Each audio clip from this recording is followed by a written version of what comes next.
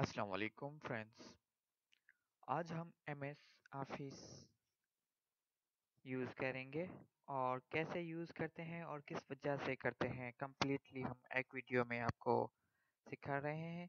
I hope के आप starting से सीखना चाहेंगे। तो अभी हम इसको ऑन कर रहे हैं कि कैसे स्टार्ट करते हैं।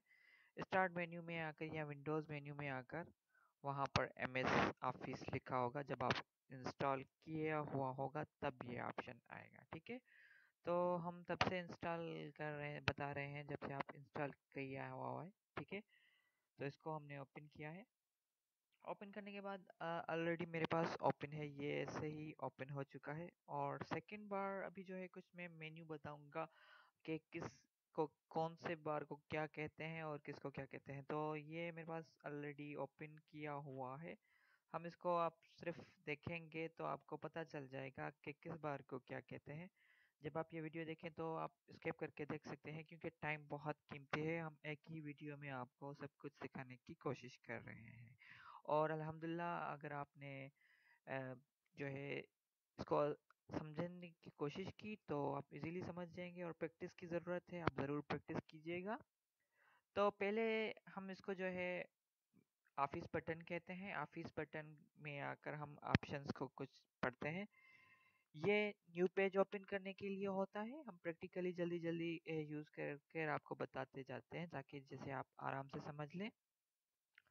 ठीक है, कोई भी न्यू पेज ओपन करने के लिए उसके बाद ब्लैंक पे क्लिक करेंगे तो ये न्यू पेज ओपन हो जाएगा। तो ये न्यू पेज ओपन करने के लिए यूज़ किया जाता है। उसके बाद सेकंड ऑप्शन है ओपन का।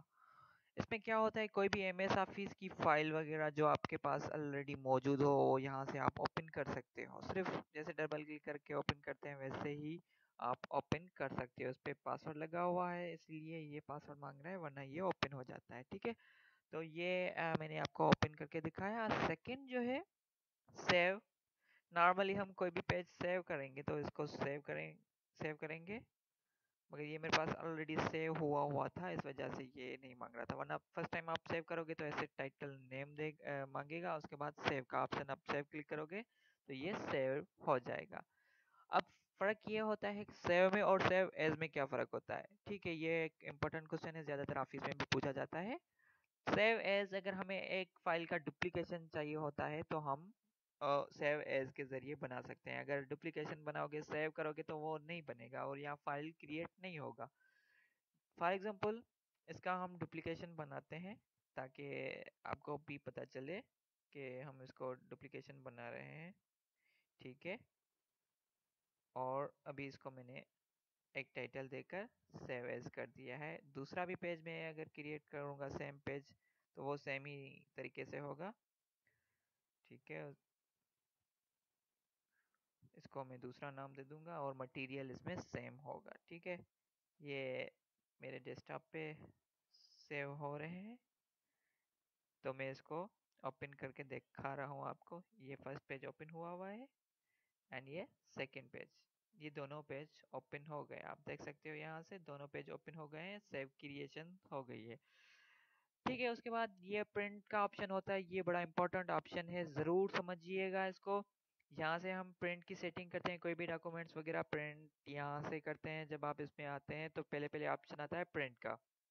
ठीक है? उसमें यहाँ से हम पहले प्रिंटर सेलेक्ट करते हैं कि अगर कोई तीन चार प्रिंटर है, जिस अगर रंगीन सेलेक्ट करना है तो रंगीन, अगर और ब्लैक एंड वाइट है तो ब्लैक एंड वाइट ठीक है? और उसके अलावा यहाँ पर प्रॉपर्टीज़ में आते हैं। प्रॉपर्टीज़ में इसकी सेटिंग्स होती है, सारी ये पेपर्स हैं कि किस हिसाब से चाहिए, ये डिफ़ॉल्ट नेम है, कोई भी आना चाहिए और उसके अलावा लेटर ज़्यादातर जो डिफ़ॉल्ट होता है, हम कोई हम काम नहीं करते हैं सिलेक्ट किया हुआ नहीं होता है और ज़्यादातर हमारी दो तरह से सेटिंग होती है, एक यहाँ से सेटिंग होती है और दूसरी मैं पेज लेआउट में आपको बताऊँगा जब हम इसको डीपली पढ़ेंगे तो। ठीक है तो यहाँ से ज़्यादातर हम अभी जो काम करते हैं वो एफ़ फोर पे करते हैं, इसमें थोड़ा बहुत फ़र्क है जो हम पेज लेआउटली में आपको मैं समझाऊँगा कि इसमें क्या डिफरेंट है, ठीक है? तो ज़्यादातर आप सेटिंग करते हो यहाँ से आउट होगी और पेज लेआउट से दोनों मैच होंगे तो प्रिंट्स साथ आएँगे वरना नहीं आएँगे, ठीक है? और ये है ऑटो या मैनुअल सिस्टम, ये मैनुअल सिस्टम होता है, अगर ऑटो करना चाहते तो कंप्यूटर खुद ही ऑटो करेगा, अगर मैनुअल करेंगे तो मैनुअल के हिसाब से करेगा, ठीक है? और इसमें भी यानी थोड़ी बहुत फ़र्क है जो है, मेन पेज या पेपर पेज, ये जो है, टाइप होते हैं, ये ज़्यादातर हमारे सेटिंग इतनी काम की नहीं होती। मैं जनरली आपको बता रहा हूँ, ठीक है? और ये प्रिंट आउट कितनी यानी होना चाहिए, यानी क्वालिटीज़ के हिसाब से होते हैं। तो ये जो है, जितने डिफ़ॉल्ट हैं, उसी हिसाब से आप यूज़ कीजिएगा, वरना ज़्यादातर प्रिंटर यहाँ से अगर सेटिंग आउट हो जाए तो आपके प्रिंट आउट नहीं निकलता है। ठीक है? तो हमारे ये ऑप्शंस यहाँ पर ख़त्म होते हैं, ठीक है? और उसके अलावा ये एडवांस है, ये सारे ऑप्शंस हम आगे जाकर हर ऑप्शंस आपको डिटेल में पढ़ाएँगे। और हर ऑप्शन डिटेल में समझ जाओगे। मगर अभी जो है यहाँ पर मैं स्केप कर रहा हूँ क्योंकि ये आगे जाकर हम इसको डिटेल में पढ़ेंगे। उसके बाद अगर ऑल फ़ाइल होगा, अगर आप प्रिंट देते हो तो अगर 20 फ़ाइल हैं तो 20 ही जाएँगे और यहाँ पर क्लिक करके ओके करेंगे तो 20 ही फ़ाइल हो जाएँगे। करंट पेज का क्या मतलब है? करंट पेज का ये मतलब होता है जहाँ पर आपका कर्सर जैसे ये कर्सर अभी समझिए फ़र्स्ट पेज पर नहीं है, यानी तीस पेज पे है और हमारे पता नहीं कितने अनलिमिटेड पेजेस हैं। तो यहाँ से जो ये तीस नंबर पेज है, अगर अब मैं इसको प्रिंट आउट दूँगा अभी तो ये जाकर जहाँ पर कर्सर होगा, यानी तीसवें पेज पे होगा तो तीसवा ही पेज प्रिंट होगा, और कोई पेज नहीं होगा। मगर आप चाहते हो कि मैं लिमिटेड पेज ओपन, यानी प्रिंट हो, एक फ़र्स्ट हो, उसके बाद कामा की निशानी देंगे। यहाँ पर ये समझाया गया है, तरीकेकार कैसे है, अगर थोड़ा सा हम इसको गौर से देखेंगे तो हमें समझ में आ जाएगा। ठीक है? और सेकेंड, और मैं कहना चाहता हूँ नवा या आठवां, ठीक है, और उसके बाद मैं फाइनल करूँगा फिफ्टी फाइव फिफ्टी फोर तो ये डॉक्यूमेंट्स में अगर चाहता हूँ मुझे प्रिंट आउट चाहिए तो ओके करूँगा तो यही हो जाएँगे और ये ये जो पेज लिखे हैं वही होंगे।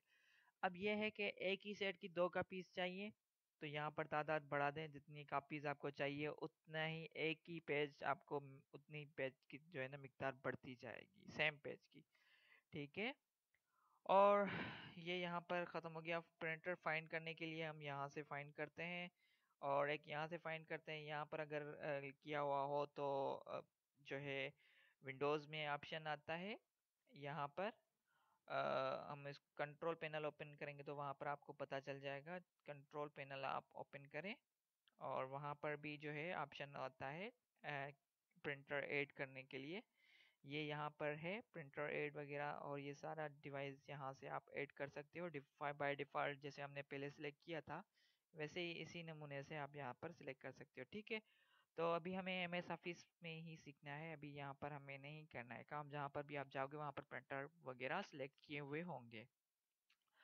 अब जो है, यहाँ पर डॉक्यूमेंट ज़्यादातर हम जो काम करते हैं वो डॉक्यूमेंट्स पे ही करते हैं या अगर कोई और चीज़ जो है आपने बनाई हुई है, उस पर काम किया हुआ है और प्रिंट आउट कर निकालना चाहते हैं तो आप बहुत सेलेक्ट करें। ये सारे ऑप्शन से मार्कअप लिस्ट मार्कअप या ये सारे मार्कअप जो है ना, हम लास्ट तक इंशाल्लाह आज हम फाइनल करेंगे और पढ़ेंगे तो आपको पता चल जाएगा कि यहाँ पर क्या क्या है और क्या नहीं है। ठीक है? तो ये है ऑड और इवन जैसे हम सिंधी में कहते हैं की बद्दी, और उर्दू में पता नहीं यार क्या कहते हैं मुझे इतनी नहीं आती, ठीक है? तो ये, यही सिस्टम है, अगर कोई हमें चाहिए फ़र्स्ट चाहिए, फिर तीन चाहिए प्रिंट आउट फिर नौ नंबर चाहिए, फिर ग्यारह नंबर चाहिए, जो इक्की अदद है, वही चाहिए तो ये यहाँ से सेटिंग होगी और वही पेज आउट होंगे। तो ये सारे जैसे हम करना चाहते हैं, इसको इजीली आप समझ सकते हो। अगर आल पे क्लिक करोगे तो जितने ही होंगे one two three four five six series wise जो है, पूरा जो है ना होता जाएगा। अगर इवन आउट करोगे तो वो इवन होगा तो इवन ही आएँगे, अगर आउट करोगे तो आउट आएँगे, ठीक है? उसके बाद ये है कि अगर एक पेज पे कितनी स्लाइड होनी चाहिए, ये ज़्यादातर हम पावर पॉइंट में यूज़ करते हैं क्योंकि स्लाइड्स बहुत छोटी छोटी होती हैं और वो पर पेज पर जो है ना बन जाती है। तो ये ज़्यादातर आप क्लिक करोगी तो एक पेज, एक ही यानी पेपर पर ए फोर पर दो यानी पेपर आ जाएँगे प्रिंट आउट आपकी जो भी चीज़ें होंगी वो सेम ही आ जाएँगी। ये उसके लिए यूज़ करते हैं, अगर उससे ज़्यादा चाहते हो तो वो आप कर सकते हो, ठीक है? और उसके अलावा स्केलिंग में ये सेम पेजेस होते हैं, यहाँ से आप ए फोर पर ही हम काम करते हैं ज़्यादातर तो आप यहाँ से सिलेक्ट करो, अगर नो स्केलिंग करोगे तो वहाँ पर ऊपर जो यहाँ प्रॉपर्टी में या जो यहाँ से आप जो भी सिलेक्ट करेंगे वही आ जाएगा। ये सारे ऑप्शंस हम आगे इजीली इसको समझते हैं, यहाँ पर डिटेल में जो है किए हुए हैं, क्योंकि यहाँ पर बहुत सारे ऑप्शंस हैं जो रिपीटेड होते रह रहे हैं रिपीटेड होंगे रिपीटेड होंगे, वो हम नहीं कह रहे हैं, ठीक है? और हम आगे जाकर इसको पढ़ेंगे। तो ये सारा मेन इम्पोर्टेंट था, अगर आपको समझ नहीं आता तो दोबारा से सुन लीजिएगा इसको। मेन और ये एम बी क्वेश्चन है, ये आपको आना चाहिए ऑफ़िस के लिए तो इम्पोर्टेंट है, ठीक है? ओके करोगे तो जो भी आप करो पेज जो सिलेक्ट होंगे वो प्रिंट आउट हो जाएँगे। ठीक है, अब ये हमारा पेज खत्म हो गया। उसके बाद है quick. Quick print. Quick print में कोई ऑप्शन नहीं दिखाएगा डायरेक्टली आपका जितने पेजेस होंगे सारे प्रिंट आउट हो जाएँगे। बस मैं क्लिक करूँगा और जैसे प्रिंट का ऑप्शन में चले गए। अभी ये यहाँ पर चला गया है प्रिंट के ऑप्शन में। ठीक है, अगर हम कनेक्ट, कनेक्टेड होते तो ये प्रिंट आउट निकल जाता। है यानी कोई ऑप्शन वगैरह नहीं देता कि भाई अब ये सेटिंग करो या वो सेटिंग करो, इस वजह से। ठीक है, और इस सेटिंग कभी कभी सेटिंग की हुई होती है और हमें अर्जेंटली चाहिए होता है तो इस वजह से। और प्रिंट प्रीव्यू क्या होता है, जो भी आपने बनाया है, वो आपको लोकेशन बनाता है कि कैसा बना है या ऐसे आपका प्रिंट होगा। ये जो है प्रिंट प्रीव्यू में बताया जाता है।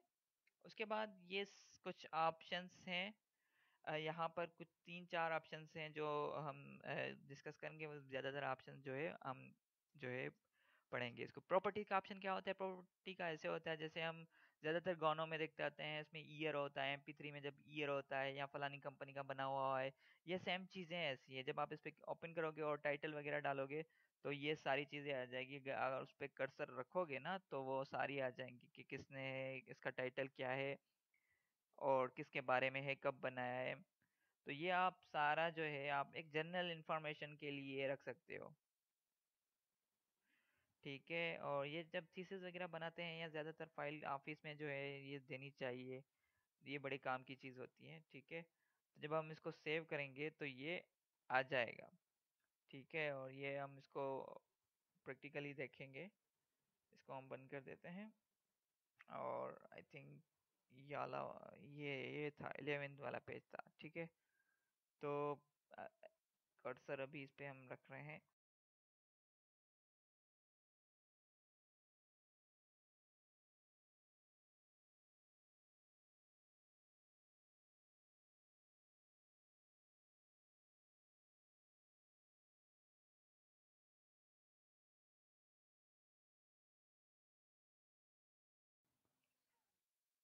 Welcome back friend sorry for break और दोबारा से हम कंटिन्यू कर रहे हैं इस ऑप्शन को और पेज लेआउट ली हम स्टार्ट करेंगे।